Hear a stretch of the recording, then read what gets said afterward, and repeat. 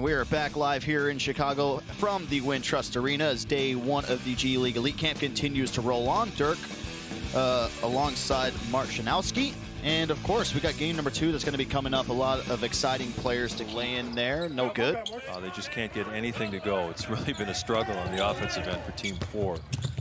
And Jones with the right hand gets to go. Nice drive by Carlik Jones. He has six points, six of the seven for Team 4.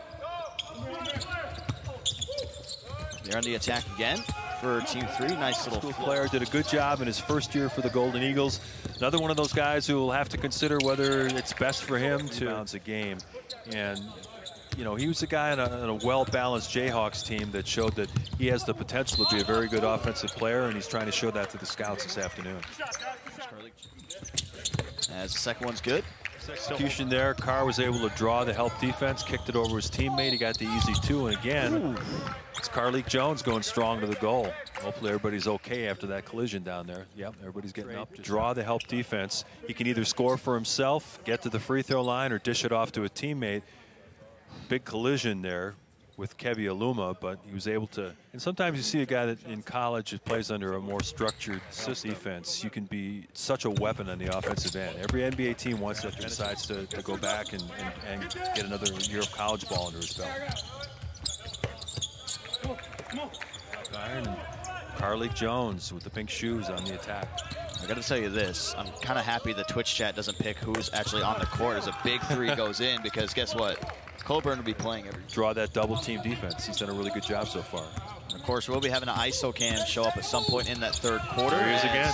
Oh my goodness, Jones is trying to steal the show. Star of game two this afternoon. A little hesitation move. Dawson Garcia falls down. He gets called for the foul. It's going to be the and one for Jones, and he got him on a swivel, and he had no chance. Florida State.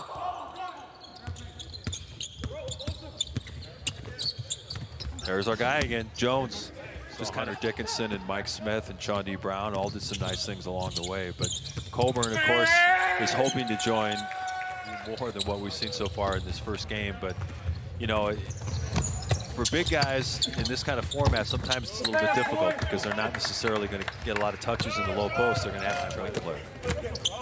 Jones with the rebound now. Still keeping up with his performance, haven't scored yet. Nice assist there, though, going on the inside. Different story in the second half, mostly because they've been getting better shot opportunities because their guards have been able to get in the paint, they're scoring for themselves or dishing to their teammates. Much better offensive execution by getting a couple of easy ones for Team 3. They need something like that because uh, comeback by Team 4. And rattles around at home, two for two. There we go. We got Jones. Can you hear us? Yes, sir. I can hear you. There you go. Look at this. Hey, I just want to read this off to you. 8 to 10 shooting, 6 to 7 from the foul line, 23 points. The most points we've seen scored here at the Elite Camp so far. Run us through what's going through your head. We're on that hot streak. You're 7 to 7 at one point. Um, you know, just take what what's there, uh, what's given to me, and, and, just kind of let the game come. Uh, and, and, just stay locked in. That, that's really, uh, you know, how the, the, mindset I came when I came into the game. Uh, just stay focused and uh, let the game come to me. How different is this environment for you as opposed to what you were doing at Louisville? Obviously, this is our teams that are like an all-star format. You guys are kind of thrown together, but I thought you did a great job reading pick and roll coverage, being able to analyze the defense. Do you feel comfortable in this this up-tempo NBA type of uh, ball game?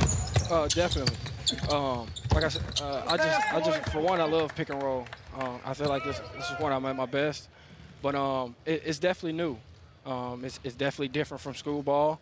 But like you kind of said, it's like an all-star game where there's a lot of guys, a lot of talented guys on both ends. Um, and, and, and, you know, you just play.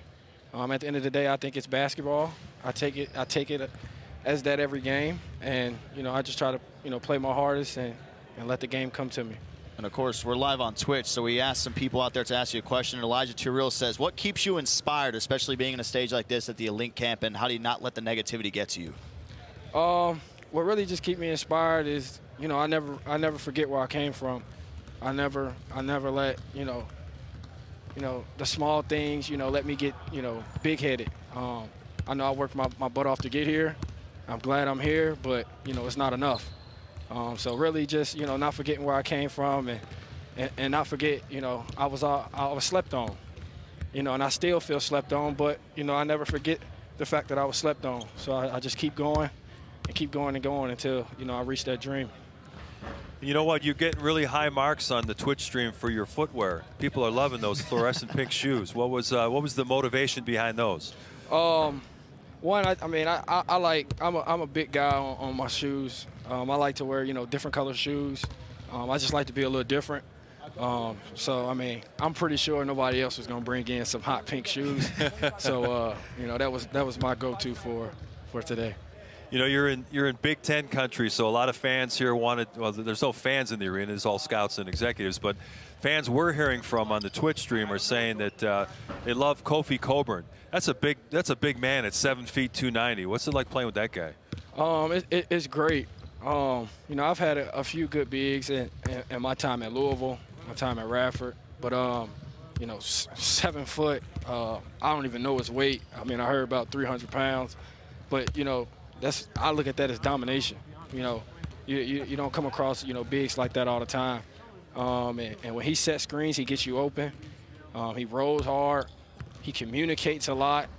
And like I said, it, he's a big guy. You got to feed him the ball, and, and to be able to throw the ball in into a big guy like that, and you know let him work is always a blessing. It makes it easier on me. It makes it easier on you know the rest of the team, and you know it definitely I feel like it helped us win.